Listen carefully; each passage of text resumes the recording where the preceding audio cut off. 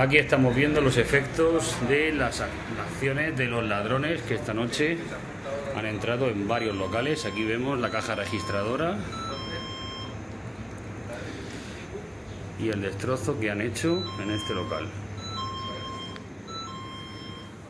No ha podido abrir antes porque estaba preparando la tienda. ¿Qué le parece como vecino y cliente que se estén dando tantos robos tan seguidos?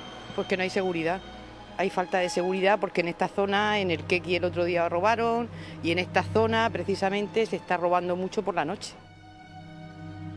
Así se explican los clientes y vecinos del centro de Murcia los robos que están sufriendo los comercios.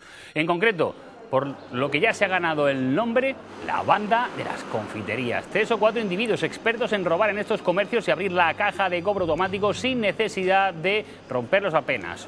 Una situación insostenible según algunos.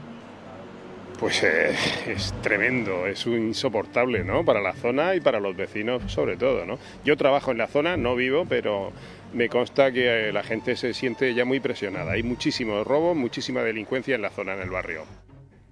Por eso desde la delegación del gobierno les mandan un mensaje a los ladrones. Quien está haciendo esos robos, les tengo que mandar un mensaje claro, contundente. Les queda muy poco para ser detenidos y ser puestos a disposición judicial.